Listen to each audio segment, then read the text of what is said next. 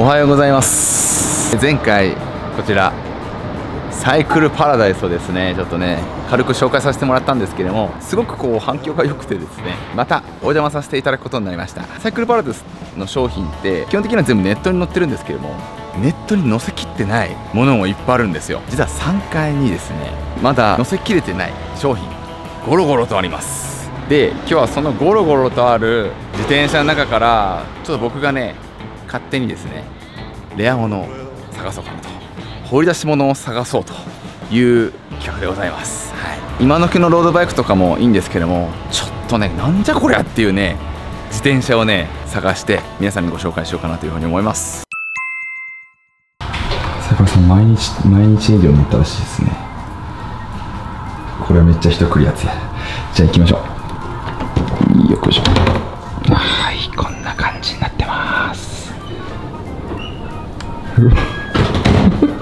相変わらずものすごい量ですね。宝の山ってやつでございます。前回サムネ撮ったとこですけどね、えーここが1階のスペースいわゆる開放してるスペースですね。どんな人でも見ることのできるスペースなんですけどもこの上の上3階にですね一般開放されてないスペースあります。そこにもね自転車がめちゃくちゃ大量にあって今日はそこから珍しいものをゲットしようかなというふうに思います。はいということでですねここが3階いわゆる、えー未公開エリアで合ってますでしょうか？はい、えー今日はですねこちらご案内していただく松永さんです。はい、よろしくお願いします。松永です。はい、よろしくお願いします。こんな具合になってます。ものすごい量の自転車が置いてあります。この中で、いわゆる超レアというか、まあ、サイパラさんならではの、その、なんじゃこのバイクはっていうバイクも結構あると。はい、改めまして皆さん移動しましてここ2階です。1台目ですね。チェレステと黄色といったら何を思い浮かべるでしょうか。こちらマルコ・パンターニのはい、モデルでいいですかね、そうです。これどれぐらいのもの前のやつなんですかね。当時、まあ、まあ、パンターニがあー乗っていたバイクの完全にレプリカモデルになりますので、あの20年くらい前のモデルっているのかなと思います。これ一見黒森に見えるんですけど、はい。鉄なんですかね？結構軽いなと。はい、あのフレーム自体はアルミのフレームです。そうこれアルミなんですね、こんなに細いアルミってあんま見ないと思いますけども。フォークはあのカーボンになってますが、まあ、こちらのコラムの方は、えー、とアルミのコラムになってます。へえまずマルコ・パンターニって何って人もいると思うんですけど映画とか僕見ましたね。ね。えーはい。海賊と呼ばれた、まあ、プロサイクルロードレーサーと言われていて、まあ、要はめちゃくちゃヒルクライムが速い選手ですよね。海賊と言われてるだけあって海賊をモチーフにした、えー刺繍ですかねこれは。刺繍のサドルです、サドル。これ珍はい。しいですよね、これは珍しくてですね、これは今でもやっぱりこの欲しい方がたくさんいらっしゃって、はい、サドルだけをネットオークションとかで、あはい、あの高額で取引されてたり、本当ですか？結構あるんですよね。このサドルは結構黄色い車体持ってる人からするとめちゃくちゃ魅力的だなと思いますけど、えーレコードですかね？カンパニョルの、はい。少し前のモデルになるんですかね？そうですね、当時のものになりますので、おそらく9足ではないかな。9足のレコードがついてる。と、はホイールもね結構いいかついのが入っててですね。ロルフのホイールがついてるとこの黄金のこのリムっていうのは結構珍しいなって個人的には思うんですけど全体的にかなりレアでクオリティの高いバイクチョイスさせていただきました。台数がですね101台しかこれないと。これも1セットで売りに来たってことなんですか？そうです。すごいですね。101台全部であってそのうちの24台目がこれです。で24のこれね刻印がちゃんとされてるんで刻印というかまあシールかな？まあされてるんでめちゃくちゃレアなフレームなのかなと思います。ということで1台目はこのマルコ・パンターニの、まあ、当時のレプリカバイクです。45万円です。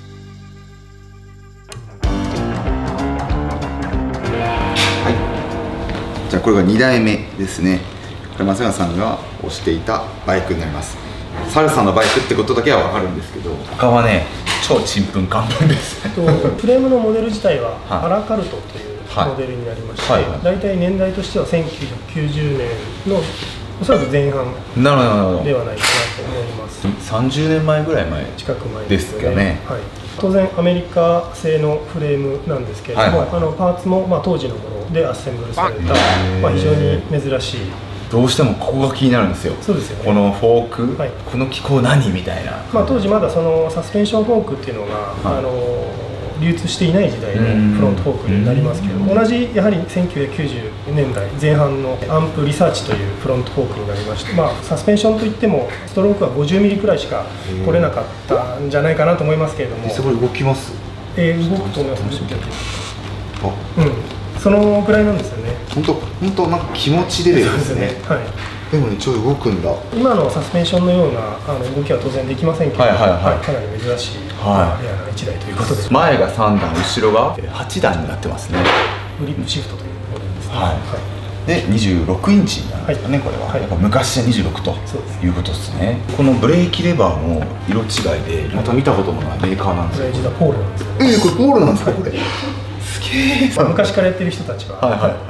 おおこれみたいな。なります当時から CNC 加工してたもんだけど、この刻印まではできなかったのかな多分昔は。だからシールになってるのかな。こういうアジャスターの部分は今でも残っている感じですよね。へえコンポなんか見ると XTR ですねシマノの。まあ一番いいのついてますね、はい。シンクロスっていうのまた結構。当時のおまあこういうクランクだとかこちらのステムもそうですけれども、はいはいはい、あ本当だ。ここも何なのか分かります？このくぼみこれはあのまあえっ、とこっちのネジがないので、はいはい。えっ、とまああのあ。普通のアヘッドステムと同じですけれども、あのこっちを締め込んでからあのここをでクランプするという。なるほどね、はい。普通今今こっちでクランプしてるけど。今でいうとトムソンとかこういう作りがありますね。はい。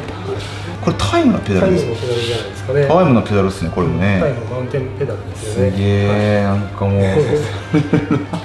でこれも珍しいなと思って僕マウンテン好き最近ねすごいハマってるんでね、えー合わせて紹介させていただきましたけどもこういったレアなバイクもあります。いわゆる当時のパーツ当時のバイクでアッセンブルされたマウンテンバイクになります、はい、これはまだネットには出てなさそうですね多分。これこれからですね。これからということなんで、まあ、要チェックでございます、はい。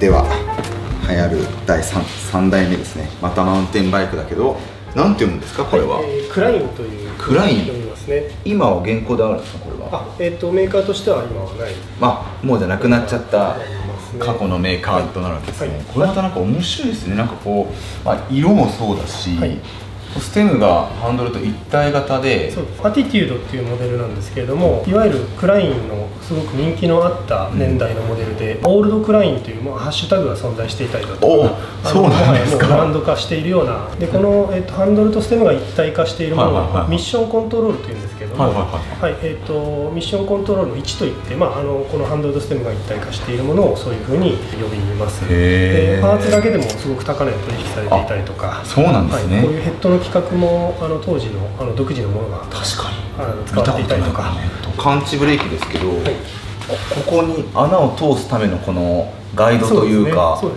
これもまステムにもつけちゃうとか、うこの辺なんかも感知専用みたいな感じですよね。もうそれ用ですもんねここれ専用のために作られたフレームってなってるし、ここもなんかピストみたいなこうフレームじゃないですか？このあそうですね。作りも、はい。次のもチェーンリングにシマノのクランク XT がついてますね。ただスリックなんですね。そうですね。タイヤは、はい。これまたブロックにするとまたちょっとこうはい。雰囲気変わるかもしれませんけどね。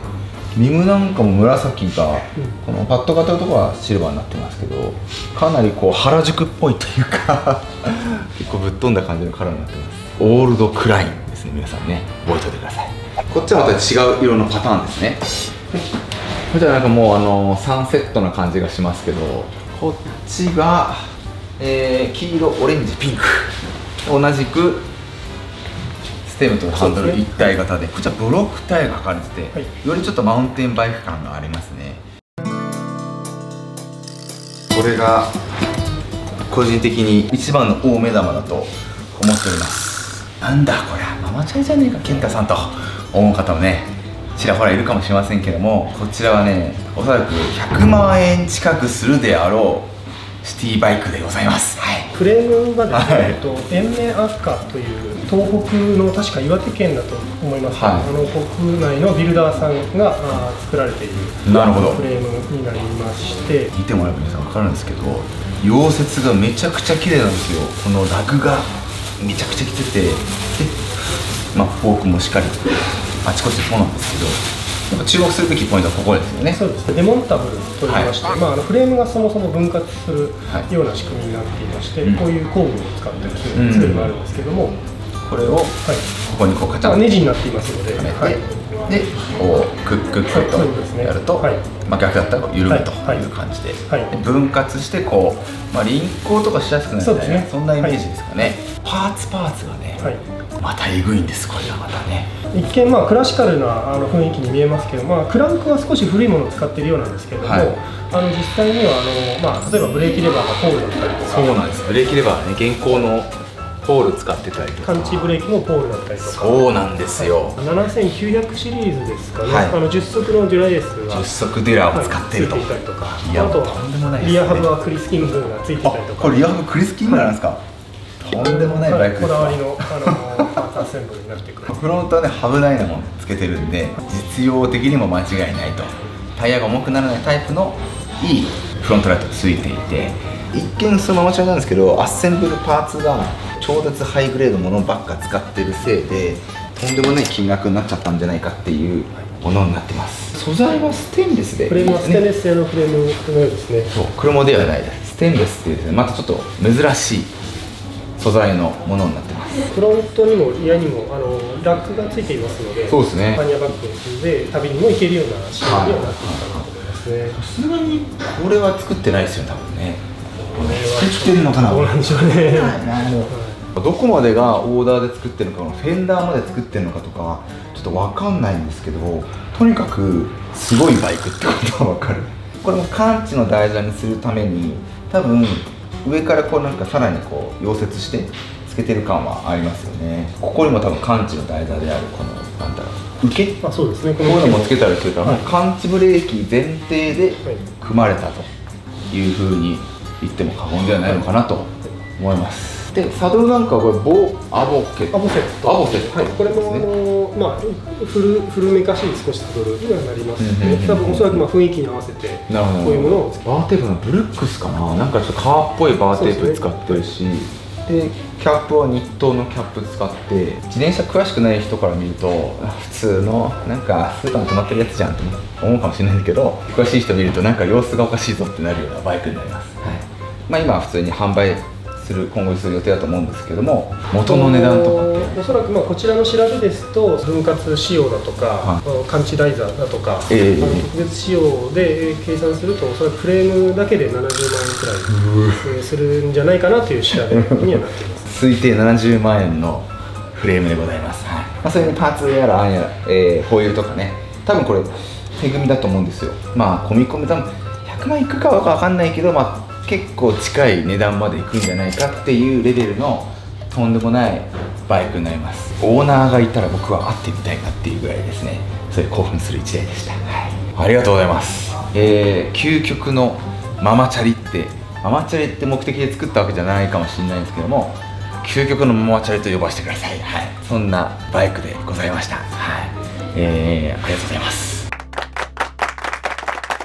ちょっと珍しいバイクをねたくさん紹介させていただいたけども個人的にはやっぱりあのーオーダーメイドシティバイクオーダーメイドママチャリが一番そそられました、はい、他にもですねたくさんレアなバイクがいっぱいあるんだけど今回はこんな感じで終わりたいと思います。またね面白いものがあったらまた一緒になんかはい。よろしくお願いします。もしもね、えー今回の動画面白いなと思った方はぜひグッドボタンよろしくお願いします。えーと、サイバーさん今まで土日しか開放してなかったんだけど、すごいお客さんから、えー要望があったみたいで、なんと年中無休で開放することが決まったそうです。見ての通りですけども、とんでもない量のロードバイク、マウンテンバイク等々いっぱいあるので、遊びに行ったら面白いんじゃないかなと思います。じゃあ、そんな感じで今日の動画は以上です。ありがとうございました。ありがとうございまめちゃめちゃ勉強になりました。本当に。ありがとうございます。じゃあ次の動画でお会いしましょう。お疲れ様でした。